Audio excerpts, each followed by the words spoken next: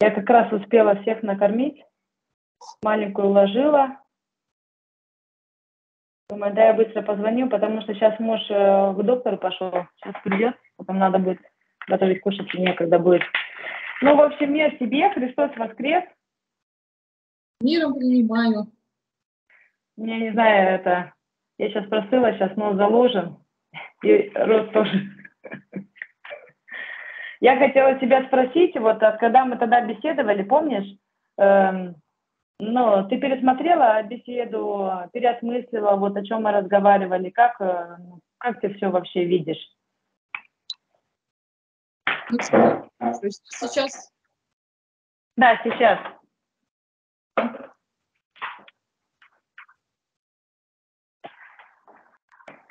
Ну, я сейчас тут тоже с э, Игнатием Тихоновичем общаюсь. Вот, ну как, не очень часто, конечно, вот, он мне дал задание выписать все, что ну, связано с моими, так сказать, э, случаями лжи, и почему, ну, как бы это было, ну, по крайней мере, как я это вижу. Так, что-то изображение стало. Вот.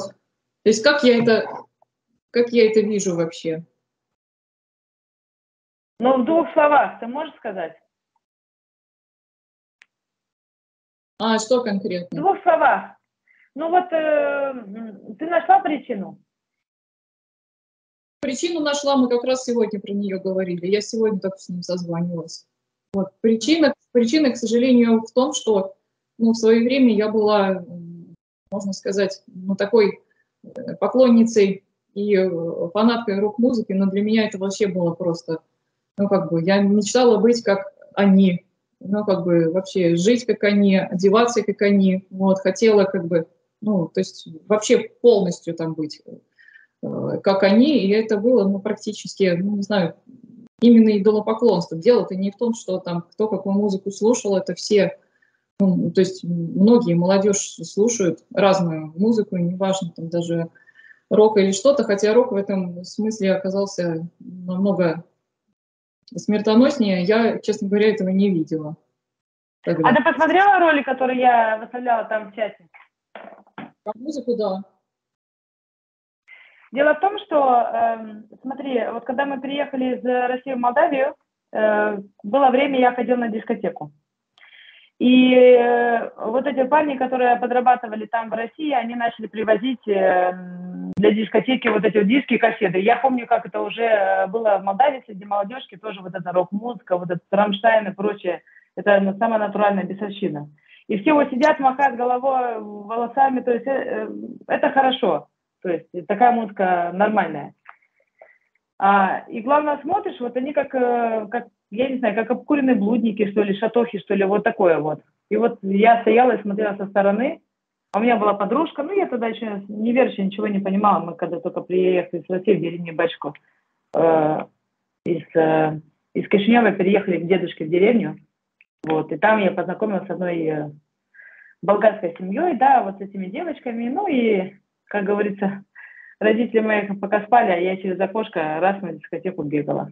Ну, недолго я бегала, потому что мне это не понравилось, и я уже дома была. Потом я уехала в город э, работать. И просто я видела вот это вот, я видела последствия вот этой дискотеки, вот этой вот встречи, этого всего, этой музыки, к чему она приводит. И мне попался вот этот вот ролик не так давно, и не знаю почему, вот я именно подумала о тебе. Вот чем, может быть, я даже и не знала, с чем это связано, но, скорее всего. Потому что в свое время, когда я уже училась, работала в городе, да, не училась, а работала в городе, и мне тоже нравилось вот это Бейонсе, Бритни Спирс, вот этот, э, вся вот эта музыка. И, конечно, тебе хочется быть похожа на них, э, у тебя появляется желание, мечты, да, э, соответственно, сатанинские. Ну и к чему они приводят? Либо ты будешь такой наркоманкой, как они, и блудницей, либо ты будешь э, нормальным человеком. Ну и слава Богу, что Господь меня отвел от этих дурацких мыслей. Конечно же, там я уже потом, когда уже жила в Греции, я уже понимала, что вообще, к чему это все приводит. Там просто загнутые наркоманы сидят сутками на улице, загнутые вот так вот, 30 лет, проеденные до костей мясо, кости, музыка, рок, наркотики, вот это вот все. Слава Богу, меня вообще Господь сохранил от этого, от этого всего. У меня руки не прикасались к этому, ни алкоголь, ни вот это все, слава Богу, мне этого ничего не касалось.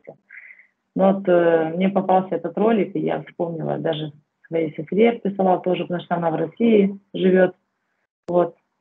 Ну, кому могла, тем присылала, может, я не знаю, какое-то покаяние будет или что, потому что кто не увлекался такой музыкой. И главное, интересно, вот там в ролике, нет, это просто музыка. Нет, мы просто танцуем, музыка просто. Я смотрела его, когда просто, честно говоря, ну, как бы узнавала себя, я тоже думала, что это просто музыка. Ну, музыка и музыка, ну какая разница? Ну, слушаю я музыку, что от этого меняется? Ну, ничего не меняется. А я не только слушала, я еще и фанатела на концерты. Я, правда, не, не ходила, просто не из той среды, чтобы на концерты ездить вот куда-то. Потом, ну, как бы, у нас э, компания там еще была, и вот она конкретно была практически ну, на, построена, можно сказать, на этой музыке. Слава богу, что этого, ну, как бы, мы еще достаточно молодые были, то есть это меня с, с 15 до 25 лет, получается, это как бы, ну, вообще, в принципе, наверное, увлечение было. Но потом я его как-то забыла, вот, но факт тот, что я забыла как бы в этом покаяться, а это, ну, как бы практически, в общем-то, треть моей жизни, которая от меня как бы, ну, просто улетела как бы куда-то, она просто как будто стерлась. Вот. Наркотиков там вот это беспорядочных каких-то связей нет, этого ничего, ничего не было. Но мы тогда совсем еще как бы, ну, с одной стороны, молодые были, ну, и как-то, наверное, не, не дошли, что ли, до этого, просто были очень, а, ну, конкретно вот эта именно задача у нас стояла. То есть мы, мы не, даже... дошли, не дошли или не хватало средств? Для этого же нужны тоже деньги. Деньги тоже нужны, чтобы развлекаться. Билеты покупать на концерты тоже нужны. Одежда нужна. Все надо. Самое главное, что это отдаляет человека от Господа. Ты начинаешь забывать, ты охладеешь. Вот я помню этот период, э, как у меня было желание, то есть в церковь ходила, все, а потом охладела. Вообще вот такая вот пауза какая-то. Ни в церковь не ходила, ничего. То есть ты... Э, потом, когда мне попалась из э, Почаевского монастыря такая листовка о покаянии, я там читала об этом, и я приносила покаяние, потому что я была в Святогорской лавре, в Донецк ехала, и там из монастыря разные листовки раздают, когда приезжают какие-то паломники. Вот я ее привезла. И там, кстати, о покаянии мне попалась такая листовка Исаака Сирина. Она есть в интернете. Там я когда ее читала, я просто в ужас пришла, я как будто читала там о себе.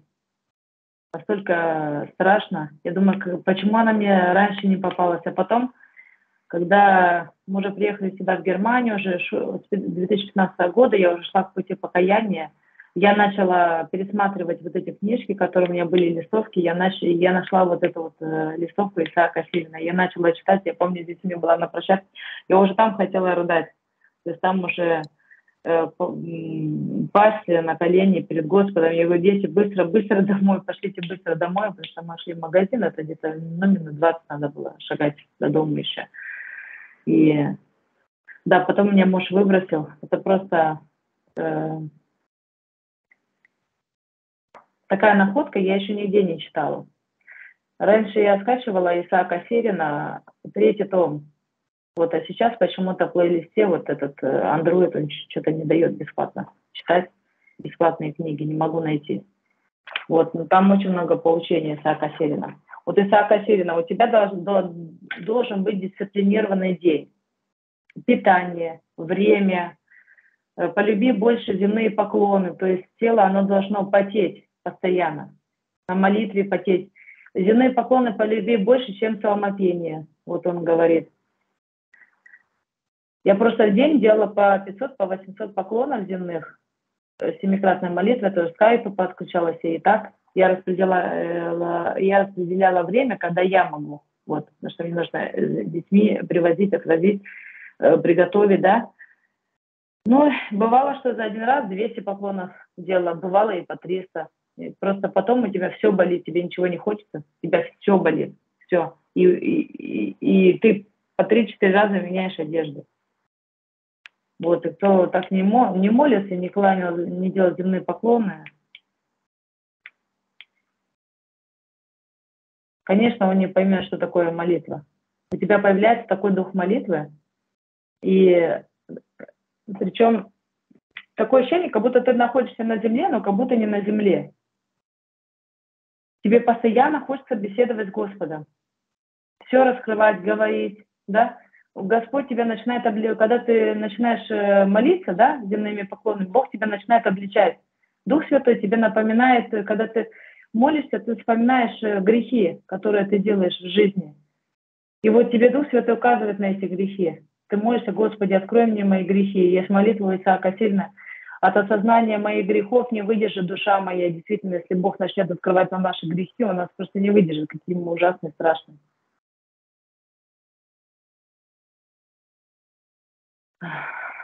Вот. Еще я хотела спросить у тебя, э, было ли у тебя вот это вот э, покаяние, дар от Бога, вот это покаяние, осознание своей греховности? Ну, я, я, я говорю, полностью, полностью тогда вот было прям, что совсем прям полное осознание. Это было тогда, когда я ну, вот, покаялась в том, что я Википедию, э, страничку Игнатия Тихоновича правила. Ну, неважно, почему это задание было, согласие это было мое как бы на это. Вот. И тут как бы, ну, ну, так просто получилось, что я вспомнила именно, скажем так, вот случаи такие, связанные именно с э, ложью, когда я не, не проверяла там какие-то, ну, не знаю, там, чужие мнения, обвинения и так далее. Вот эти все случаи, они сложились как бы в одно, и вот за них было очень сильное покаяние. Сейчас как бы покаяние вот за всю как бы ложь вот эту есть, то есть я сейчас этого как бы ну, не совершаю, это равносильно, что сейчас просто ну, как умереть просто. То есть э, либо, то есть если ты солжешь, то уже как бы все. Ну, то есть вот сейчас, когда есть это осознание, когда его еще не было, это было ну, хотя бы как-то еще меньше греха. Но я даже не поняла, как я в это, по сути, как-то, ну, не знаю, для меня это какой-то как, как ну, как игрой, что ли, стало, я не знаю, ну, вот это писать там кому-то что-то.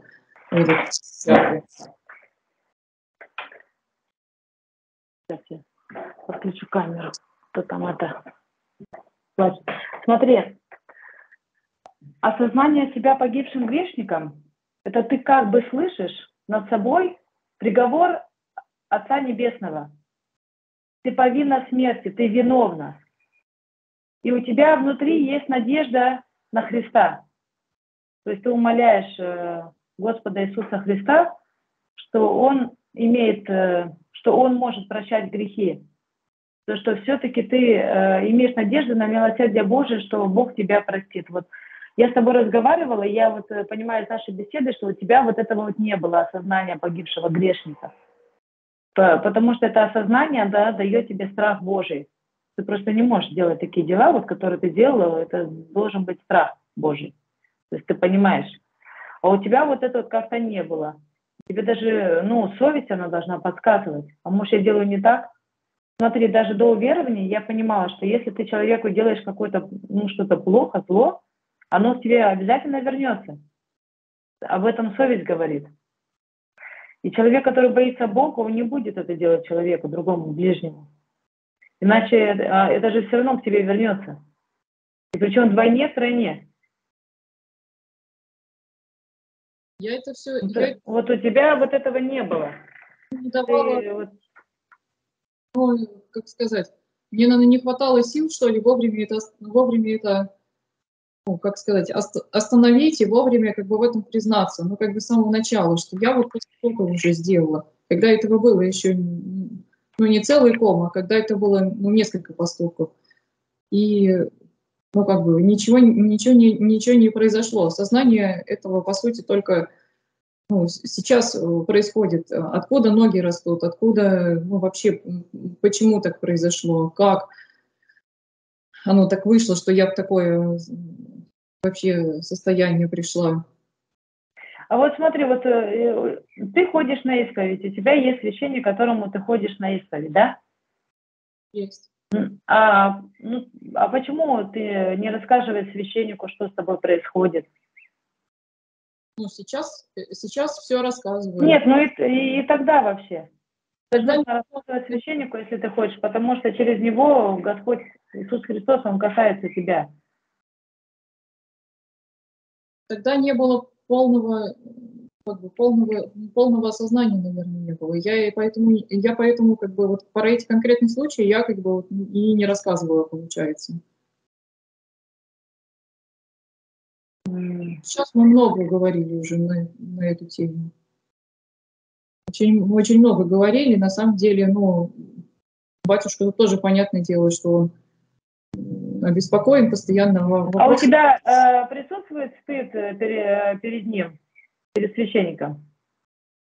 Конечно, присутствует. И перед ним, и перед, и перед вами, перед Игнатием Тихоновичем, перед... Нет, не стыд то, что тебе стыдно перед ним, а вот, это стыд, он не дает тебе покаяться до конца, раскрыться перед Господом. Мы же там исповедуемся перед Господом Иисусом Христом, а не перед священником. Ложный такой стыд. Он не дает тебе покаяться. Тебе стыдно перед священником говорить о грехах. Есть у тебя это такое?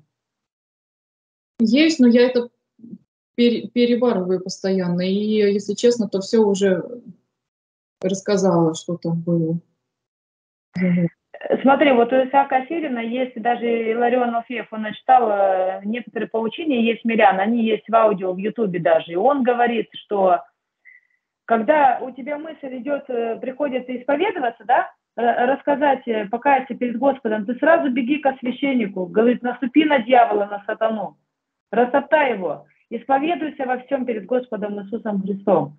И я когда это услышала, у меня сразу было желание, я уже ждала, когда будет воскресный день, чтобы побежать к священнику. Я и так исповедовалась дома, да, до исповеди, но туда приходишь тоже как то есть для меня вообще вот, ну, есть священник, есть, у меня нету никакого стыда, и не было, я сколько вот э, ходила к священникам, и в Молдавии, когда была, только начала ходить э, на исповедь, меня не, не было такого. У меня э, присутствовал вот это все-таки страх, что я перед Богом. Я не знаю почему, но я всегда вот э, так представляю, что только я и Бог, да, то есть все открыто. Если ангелы видят нас, то людей-то надо стыдиться. Все святые с неба на нас смотрят. Ну, страх перед Богом это вообще можно провалиться.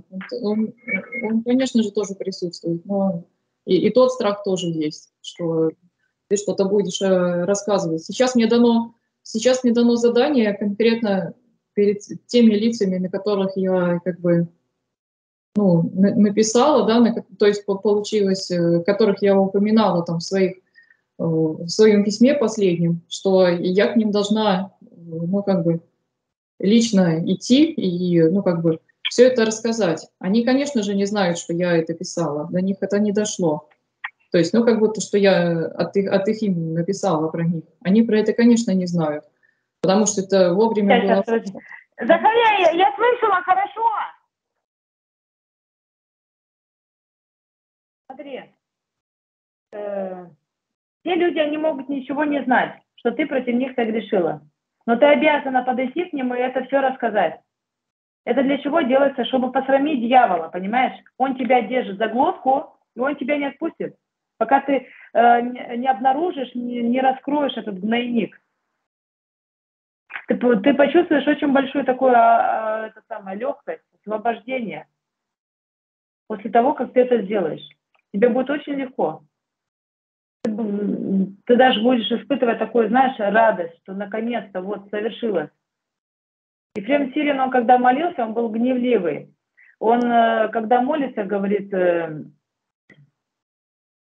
от гнева. То есть я, э, если там, ну, в общем, он так, э, молитва, она так. Если Енох ходил перед Господом, то и я с помощью Господа смогу ходить перед Господом, да? Если Мария там египетская принесла покаяние э, перед, э, то есть она покаяние в пустыне, то я смогу с помощью Господа Иисуса Христа. Если Марию Магдалину Господь Иисус Христос исцелил от злых э, духов, и меня, Господи, с помощью Твоей исцели. То есть вот так вот надо молиться. И именно я это, это не знала, я потом из Игнатия Тихоновича из книги к истинному православию это узнала. Но я, когда вот читала Евангелие, я понимала, что Мария Магдалина, то есть э, апостолы, они все святые, им можно молиться. Я когда читала вот по странице, я апостол Петр, помолись обо мне, Господи Иисусе Христе, Мария Магдалина, помолись обо мне. Вот поэтому ты даже не знаешь, какую силу имеет Евангелие вообще читать и молиться за себя. Вот просить каждый раз, вопрошать Господу. Постоянно. Вот я, почувствовала вот эту силу исцеления, силу молитвы, хотя вот это просто я делала по наитию, видимо, Господь так меня вел, потому что мне некому было помогать, да, некому было рядом, кто бы меня научил. Я еще удивляюсь, слава Богу, что с помощью интернета я вообще как-то вышла на Игнатия Тихоновича, потом скайп на содружество, до этого я еще уже слушала занятия, начитки, вот это все. А представь себе, не было интернета, и как бы, в каких бы дебрях я же жила бы, я просто не представляю. Я бы так и не смогла узнать точно о рождении свыше, было ли рождение или нет. Я читала от Евангелия от Иоанна, но я не понимала. Я знаю, что должны родиться свыше, а как? И некого спросить-то. Но все-таки Господь открыл истину. Если ты искренне желаешь э, э, вот это вот э, перерождение и освобождение от, от этой нечисти, то Господь тебе поможет.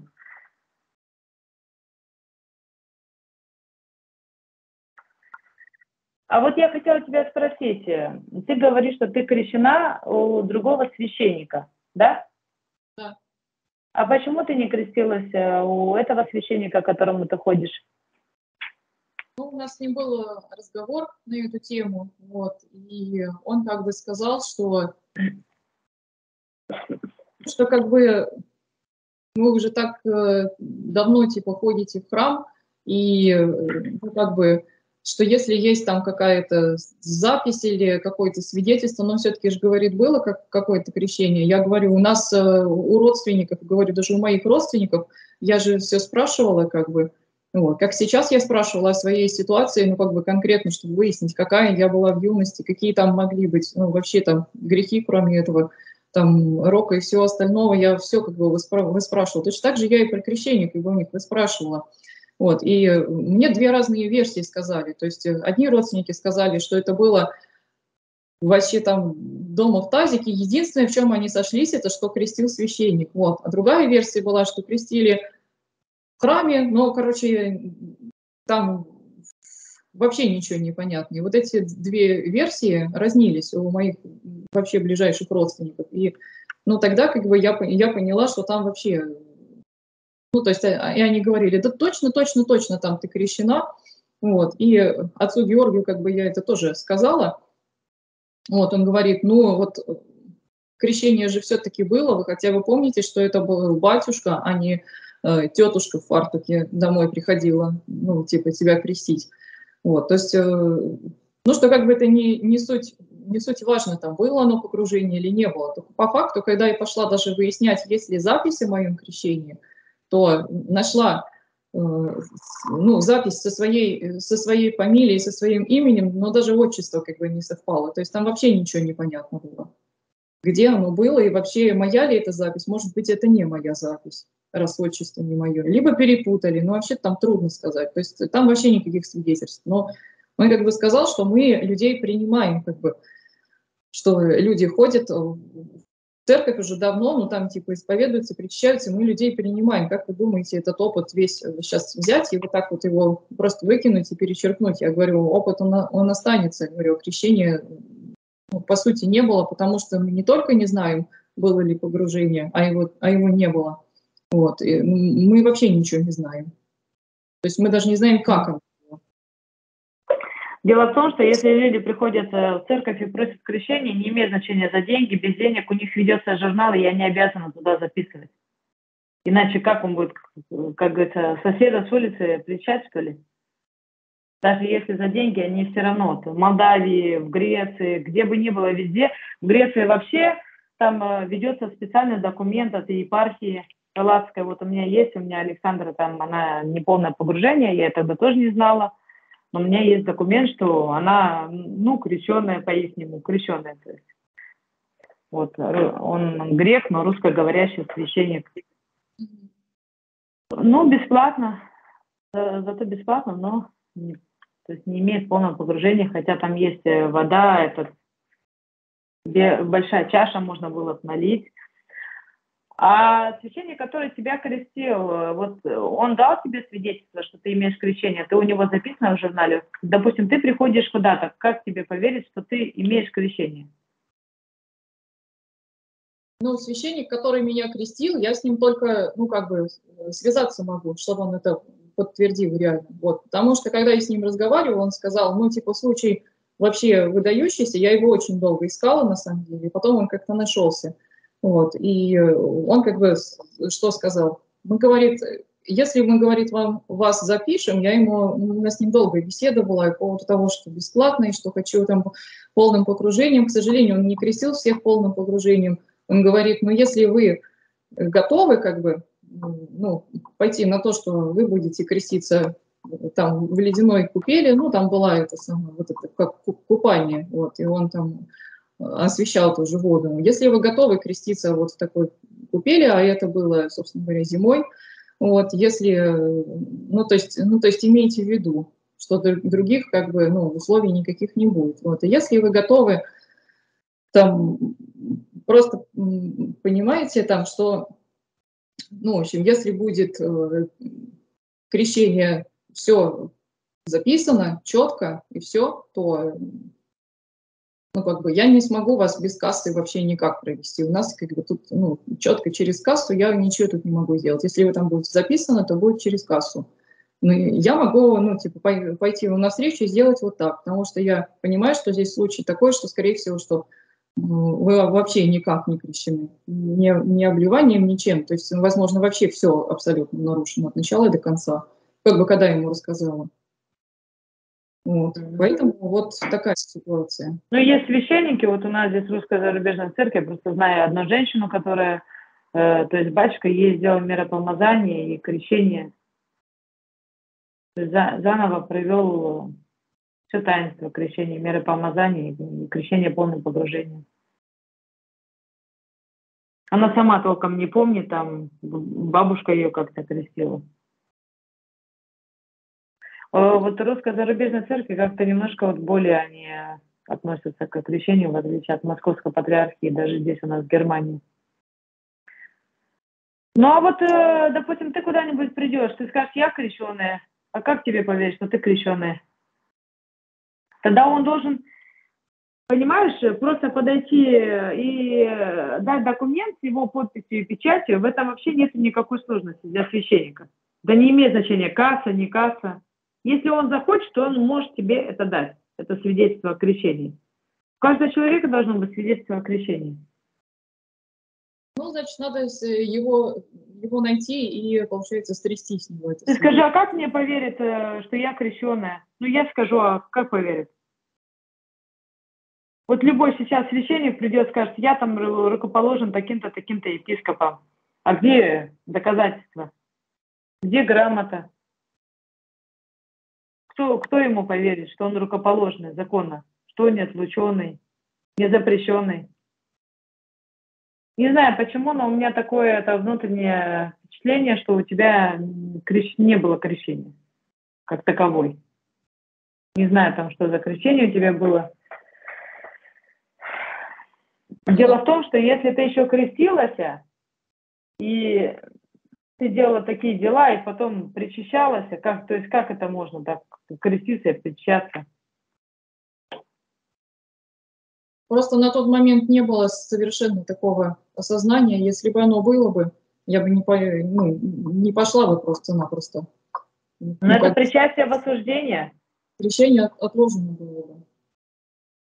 В осуждении, это даже в Евангелии от Иоанна есть толкование этого э, Кирилла Александрийского. И там, там я потом поищу, я тебе покажу, он там пишет о недостойном причастии тоже, о теле и крови Иисуса Христа. Когда недостойно причастие священнослужитель. Не то, что сам христианин подходит недостойно, а именно э, священнослужитель об этом должен заботиться. Это большой грех.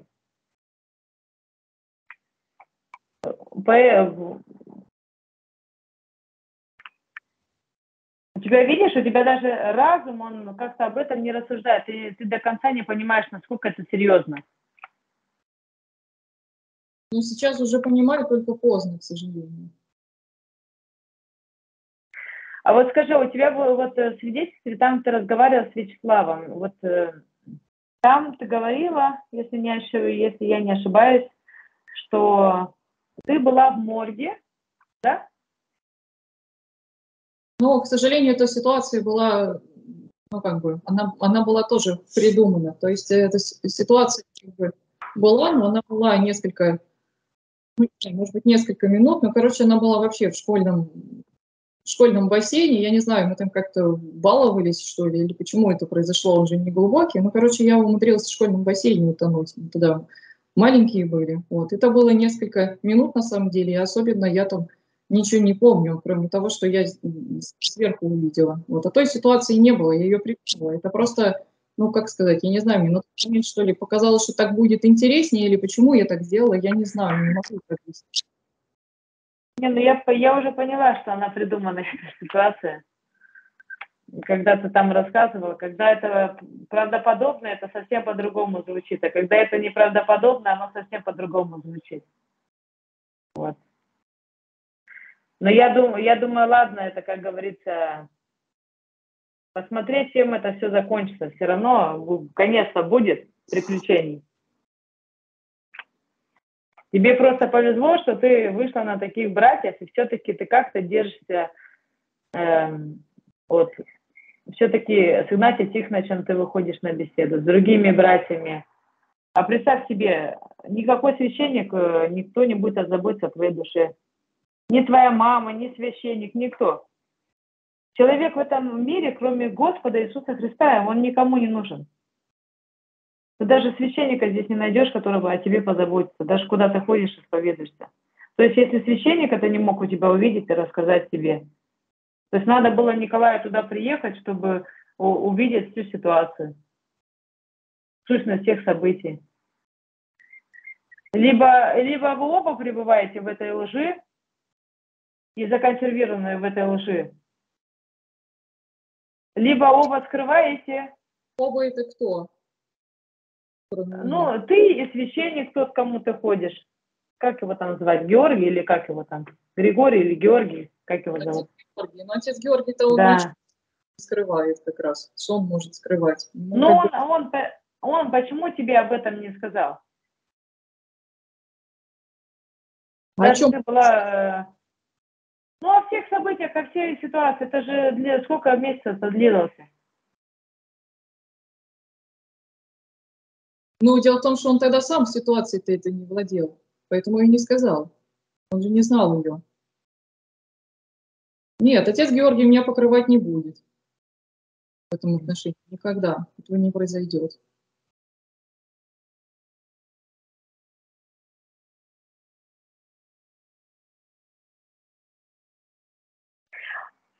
А вот еще хотела тебя спросить, э, а с мамой у тебя, у тебя действительно есть э, сестра, отец? Да, конечно. А с мамой у тебя какие отношения? С мамой у меня хорошие отношения. Какие у меня отношения? Я со своими родными в конфликты э, никогда, никогда стараюсь не путаться, даже если мне что-то совсем претит. Поэтому у нас конфликтов не было никогда таких вот.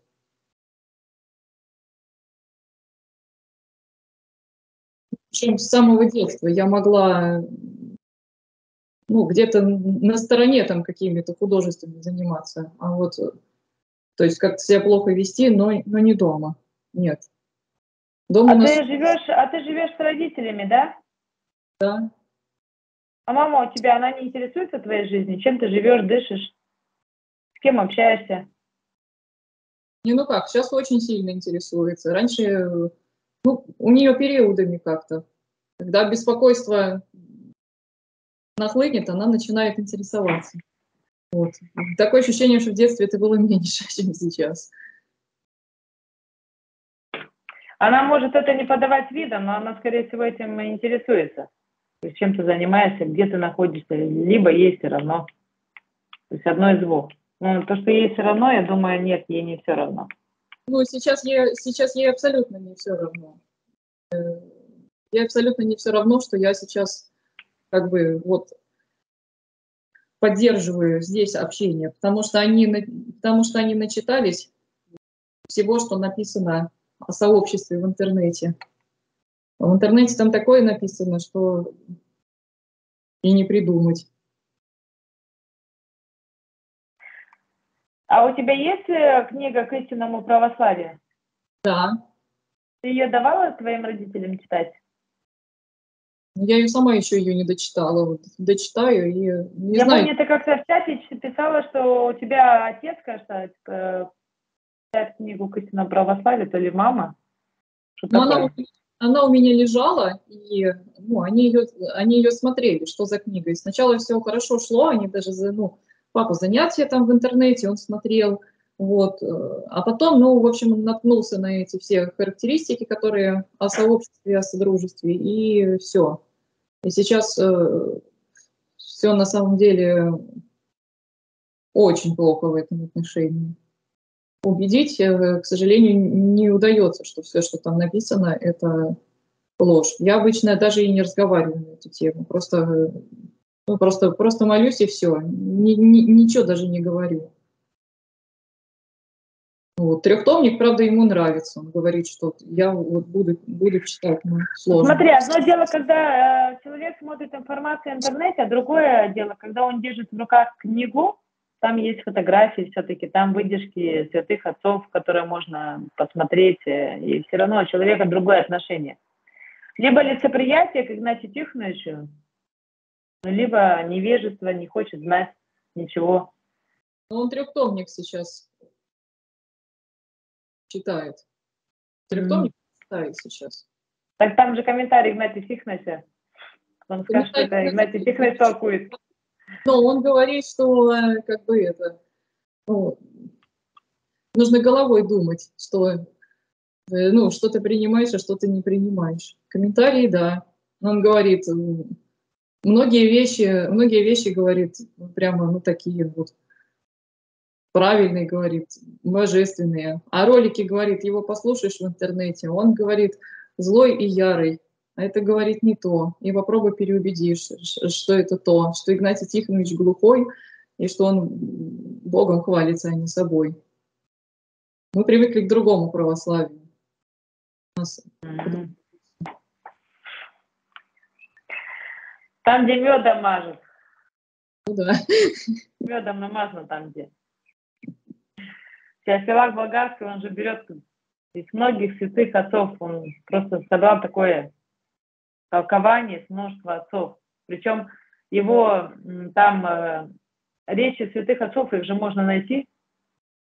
Сейчас ну, э, благодаря интернету, допустим, твоей помощью, или, допустим, ты сидишь рядом, папа, давай там посмотрим сейчас, а, какой там отец цитирует. То сейчас можно все найти. Мы с ним смотрели, он говорит, и этот, и этот Феофилакт говорит, то ли они его перебрали, то ли, говорит, он протестант ярый. Он-то, говорит, точно не православный, это, говорит, какой-то левый комментарий. Я, говорит, видел, что а, они к РПЦЗ относятся общины, это, наверное, у них там так трактуют Библию. И, в общем, мы, мы сидели, на самом деле, долго это обсуждали. Я говорю, ну а ты Осипова в интернете слушаешь? Я говорю, он э, ересь истока там нанес уже. Вот. Ну ничего, я фильтрую я все фильтрую, нет, я все прекрасно понимаю. У него много полезных вещей. Знаешь, сколько у него знаний? Я говорю, ну знаю. Я не слушала, правда, Осипова особо, так чуть-чуть когда-то. Есть грубость человеческая, а есть э, грубость э, евангельская. Вот если взять послание Коринфянам и толкование Иоанна Златоуста, даже на первое послание, рыбаки, апостол Петр, вот, его послание. Тоже евангелист Марк, там в Евангелии тоже, в посланиях тоже апостол Павел. Он очень резко. Дело в том, что когда ты берешь эти слова Божии в свои уста и начинаешь их цитировать и произносить, они на самом деле, да, человеку кажется грубые, У человека понятие о грубости, да, о любви у него нет, у него он страстями наполнен. Понимания вообще о любви нет. Это жертвенность, это не то, что друг друга там целовать, обнимать и все, и 24 часа в сутки что, только обниматься, что ли? Не, он сравнивает просто дух русских святых и дух Игнатия Тихоновича. Что-то там э, разный идет дух, что идет, э, ну, что-то что ярое очень идет, а вот, э, ну, как бы вот у святых там к старцам, когда там приезжали, то там совсем другое было. Хотя не всегда там было другое. Иногда они очень даже сильно отличали. Если у так... русских вообще вот такая узость вообще. Только у русских русские святые, больше нет никаких святых. Только русская церковь и вот эта вот узость такая. Они даже не дают детства Духу Святому, русские. У нас на Руси, у нас на Руси только у нас русское. Слава Богу, что есть вообще что-то переведенное на русский язык, труды и толкования.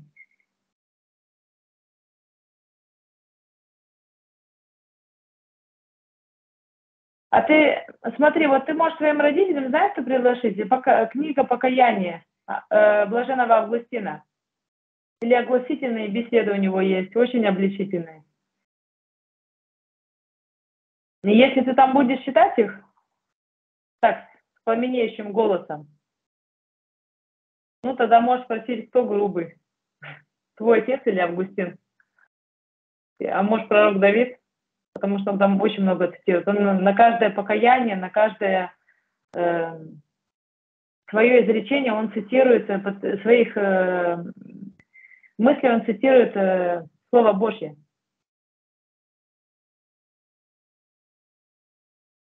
Так, это мне надо сейчас, я это запишу это куда-нибудь.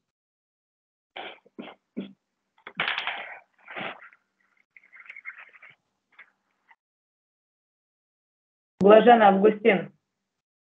Угу. После моего покаяния, это была моя книга, я, там целая книга, там их несколько книг.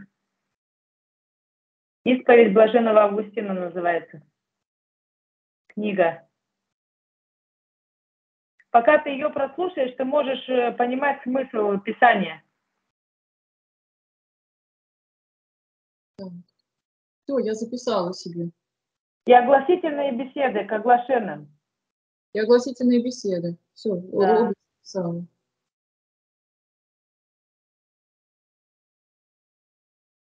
Августина. Скажи, а ты ведешь э, тетрадь, дневник? Что ты делаешь вот целый день? Вот сегодня как у тебя день прошел? Нет, дневник, дневник вообще не веду. Вообще такой привычки не имею. Ну, когда-то была у меня такая привычка. А был, э, ты знаешь, в России у всех э, девочек был такой, это, как этот э, стресс называется? Ну, это в школе. Тоже такой, как дневник. Да, да.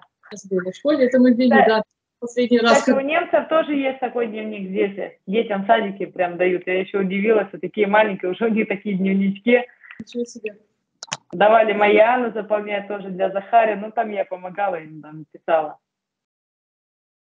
Желание, кем ты хочешь быть в будущем, там такой-то дневничок. Ну как, я могу это прислать распорядок или рассказать могу сейчас ну, как сегодня. Ну вот, опиши мне сегодняшний день. Ну хорошо, мы встаем. Вот, ну а как это? Я встаю, значит, общая, общая молитва, которая в 5 часов. Вот. А, Сегодня ты во сколько встала? Ну, я сейчас в 4.40 встаю, вот как, ну, 4.30, 4.40, чтобы успеть э, к общей молитве там в порядок себя ага. прийти. Ага. Потом общая молитва во сколько она? 5, э, наверное, 5, 5.30-5.40 ориентировочно закончилась, вот, я начинаю там что-то, ну, вот историю церкви я не слушала, честно признаюсь, я ее пока как-то, не знаю, не, не усваиваю, вот, я начинаю... Я не слушала, потому что там очень много свидетельств из э, жития святых, начиная с первого века. Ну, там не сначала, понимаешь, я сначала не начала, теперь мне надо сначала это все читать, эту книжку найти, и я потом уже вместе со всеми двигаться, иначе я не, не пойму даже, что там сейчас середины. Да, и, ну, я где-то присутствовала, где-то, вот. Потом, значит, это, ну, я отключаюсь, потом начинаю что-то читать. Но сейчас я прохожу это евангельские события по, по хронологии. Вот. Mm-hmm.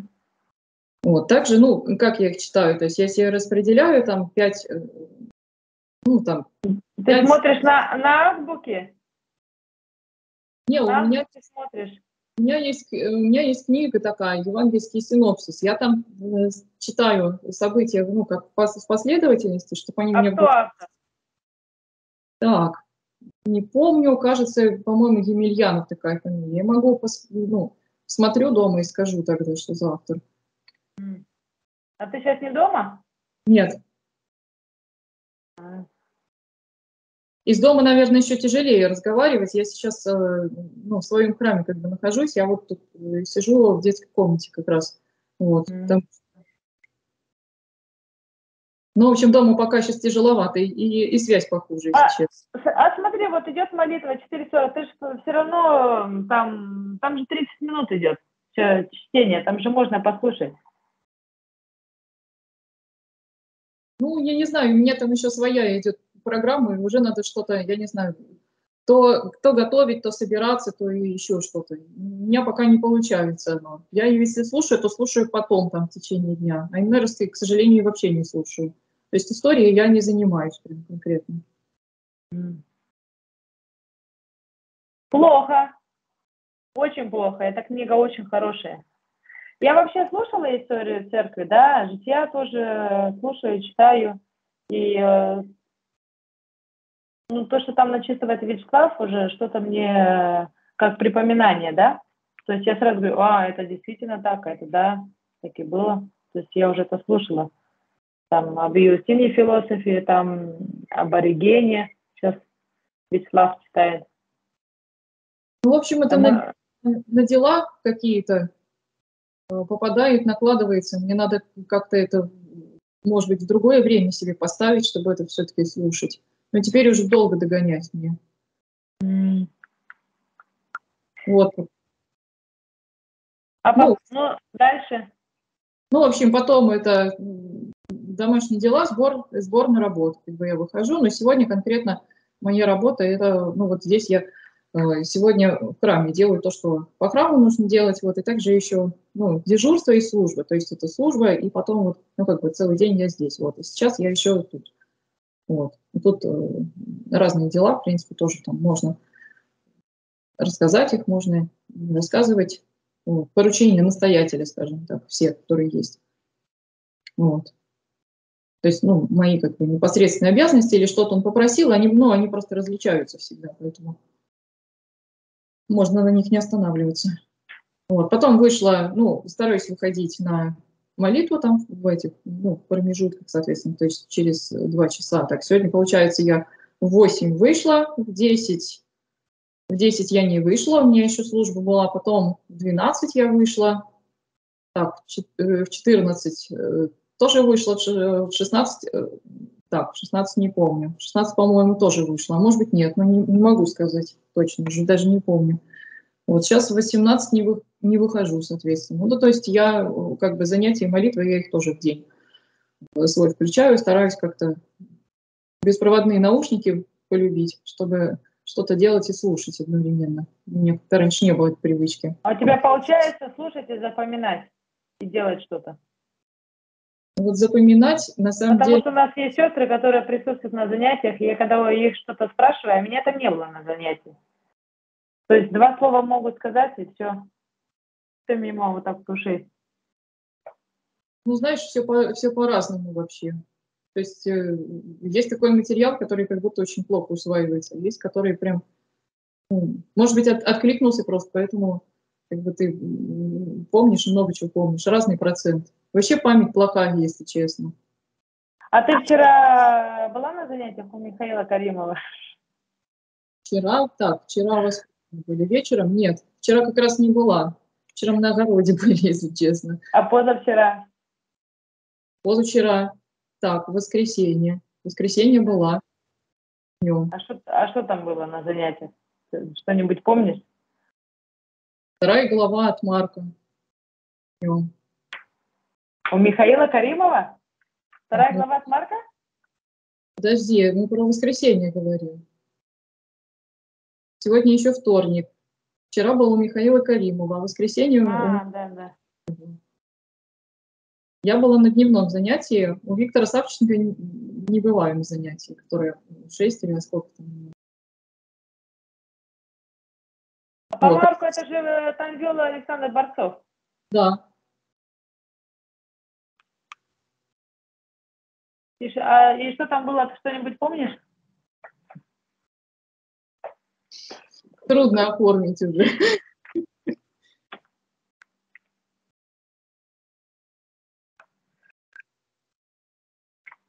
А на собраниях ты была? На собраниях я не, не бываю, их потом смотрю. А потом смотрела? Да. И что там было на собрании? На досуге что там было? Там много было разных событий. Ну что-нибудь скажи, ничего не помнишь, что ли? А что там читалось? А, читалось это самое, ну, апостольское чтение читалось про это, про... Апостольское? Апостольское.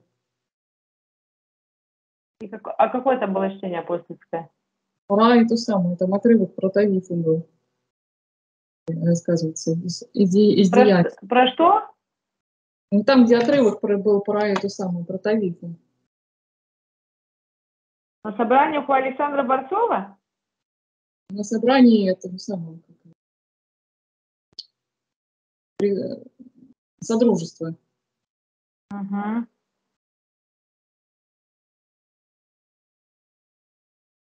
А я думала, что там было про расслабленного. Ну, про расслабленного это понятно, что было.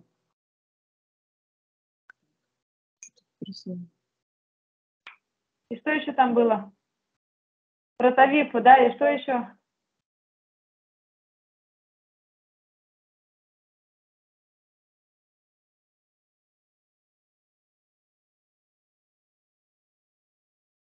Кстати, там, там э, Вячеслав сделал э, очень хорошие там памятка христианам.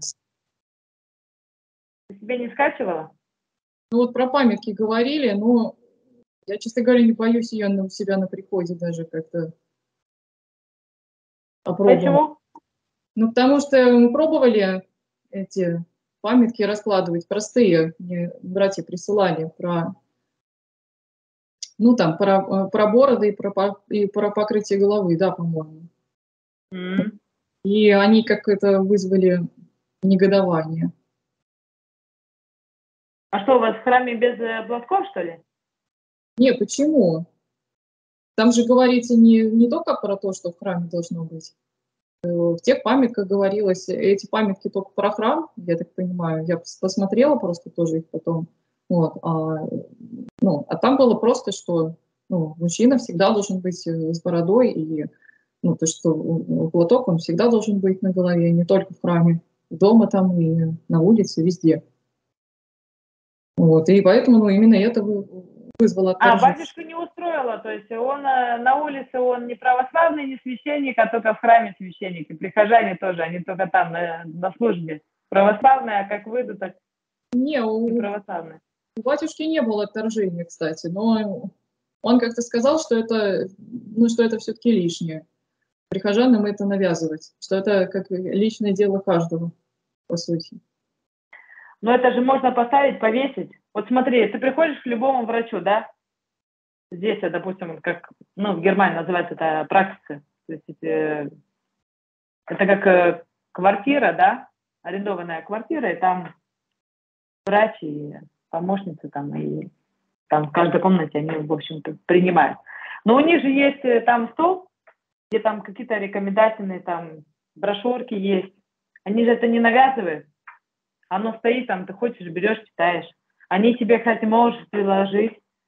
Вот, прочитайте, хотите, не хотите. Если не хотите, распишите, что вы не хотите, там не согласны, и все. Это же не навязывание, точно так же и в храме. Человек, он хочет, э, берет, хочет, исполняет, хочет, это уже от него зависит. Но главное, что со стороны верующих и священника, да, и там настоятель храма, там кто там э, смотрит за порядком вообще в храме, должны предупредить людей, чтобы они знали. Ну, в общем, не, не хочет, да? Ну, в общем, они не прижились, поэтому новые памятки какие-то делать я как бы даже опасаюсь. Хотя, может, может и нужно было как-то это распечатать, перенести и прямо батюшке показать. Ну, я, честно говоря, сейчас друг, другим вопросом вообще совершенно была занята. Была занята выяснением, если честно, своей жизни в юности и так далее у разных людей. Поэтому, честно говоря, до памятки не дошли руки. Я думаю, своему священнику переслать на WhatsApp, чтобы он почитал. Ну, там почти что все он нарушает, и не знаю, одобрит он это или нет. Ну, хотя бы, чтобы люди смотрели, учились, а то они говорят, а все-таки, когда есть проповедь, говорят, говорят, да, а ну, сколько можно говорить? Ну, пусть висит им в обличение, в осуждение. Хотя бы, чтобы повесить, чтобы читали. Но у них есть там такие прописания, тоже листовки у нас. Хотя бы такие пусть будут. Тоже неплохо было бы. Не знаю, как он на это посмотрит. Дело в том, что у нас в алтарь, как говорится, кто хочет, заходит, кто хочет, выходит. И только уже и, читая о мирянах, которые не должны входить в алтарь, то есть он уже скажет нет. А продолжит, дальше продолжение без сережек, без косметики вообще молчу, потому что они в платках, платьях, но накрашены с косметикой. Там про бороду, там все бритые, как яйцо. Страшные такие. Ну, посмотрим, как Бог даст. Главное, показать это священнику, все равно это у него останется на WhatsApp, там сообщение. Захочет он это, примет, не примет, или как, как данные будет. Кто его знает, или Бог знает, как он это примет. А вот скажи, э, как ты думаешь, чтобы не есть, не пить 4 дня?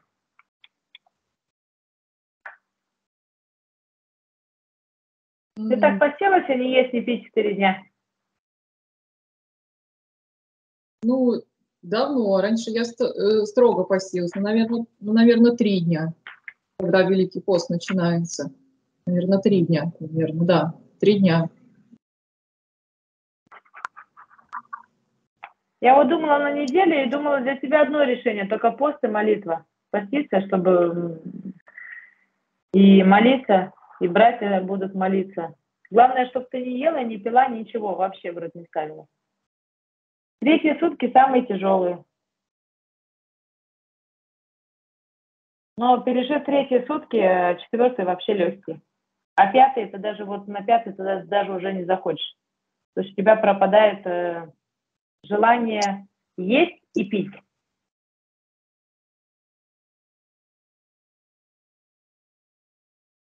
Ты готова испытать себя? Ну, в принципе, готова.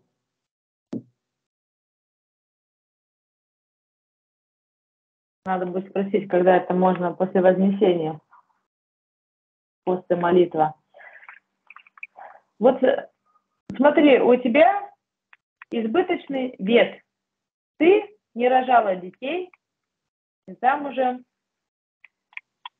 Тебе тоже надо в этом плане тоже посмотреть, избавиться от лишних э, килограммов, потому что они тоже влияют на твою душу.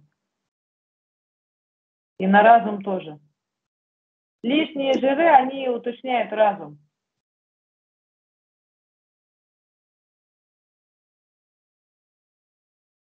Ты, ты как на это смотришь? На, на велосипеде ездишь? Нет. Нет? Не Нет. умеешь? Ну, как очень давно не ездила, если честно. Но и почему? Нет. Сейчас лето, на велосипеде едь на свежий воздух. У меня его и нет. Нет велосипеда? Нет. надо приобрести? А что, в нем по, по городу, что ли, ездить? Ну да, везде, я везде съездил с велосипедом. Мы и в России, в Молдавии, когда жили, везде с велосипедом ездили. Даже миллиардеры, у них есть дорогие машины, в гаражах они ездят на велосипедах. Не, я пешком хожу как бы много. Раньше вообще привычка у меня такая была. Вот, у меня э, от остановки достаточно, достаточно далеко. И так я много пешком хожу. И раньше часто это практиковала. Там, ну, еще бегать там что-то по утрам. Вот это было. Но сейчас не бегаю я по утрам. Пешком Нет, хожу. педали крутить в течение 40 минут это намного лучше чем бегать или ходить. Ты когда покрутишь педали минут 40, приедешь и посмотришь, как это. А вообще это хорошо, когда ты не ешь, не пьешь и едешь на свежем воздухе на велосипеде. Это очень полезно для организма. Таких нету. Для иммунной системы. А на прокат у вас есть там в вашем городе? Ну, я не знаю, надо поузнавать. Так сразу не скажу. Надо тебе заняться своим этим телом. Лишние жиры, зачем они?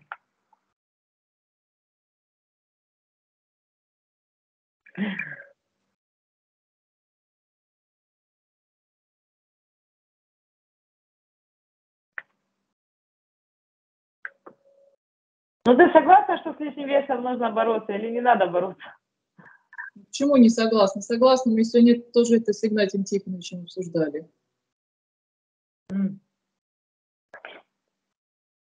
Потому что второй подбородок, это вот когда женщина беременная рождает, у нее второй подбородок растет. И потом очень сложно от него избавиться. Вообще, кормление пока, это где-то 3-4 года, вот 5 лет даже нельзя вообще калорийной пищи есть в течение вообще трех лет нужно всего воздерживаться. Иначе ты потом не сможешь вообще похудеть. А ты не рожала детей, и тебе наоборот надо скидывать это все. И второй подбородок тоже. Избавляться от него. Человек, когда полнеет, у него видно вот здесь, вот, вот здесь, по лицу здесь. Даже не надо смотреть на брюхо. Толстая чрево не рождает тонких мыслей, как Игнатий Тихонович говорит. Вообще, если ты будешь э, не есть